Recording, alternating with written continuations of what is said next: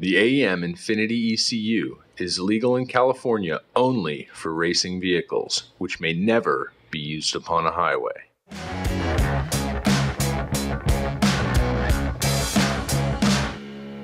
VE stands for volumetric efficiency, which is essentially uh, how well the engine is using its cylinder volume. We've all heard the saying that an engine is an air pump, and that's completely the case. What we use that pump for is to extract the chemical energy in a gasoline and turn it into horsepower. Volumetric efficiency is how well that engine does it per its given displacement.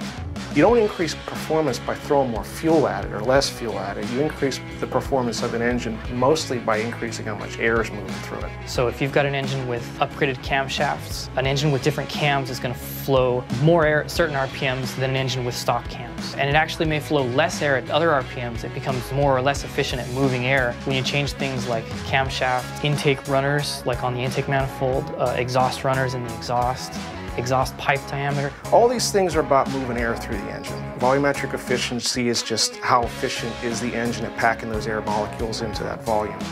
The higher the VE, the more efficient the engine is, the more air it's moving. Thus, it's making more power.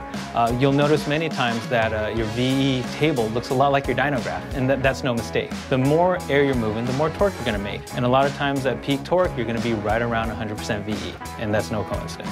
Unlike pulse width-based systems, VE systems use airflow as their primary foundation.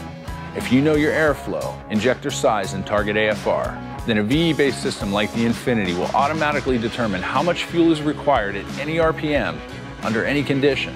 What this means is that once you set that VE table, you can forget about having to make fuel corrections. This will speed up your tuning time and lead to a host of other tuning advantages.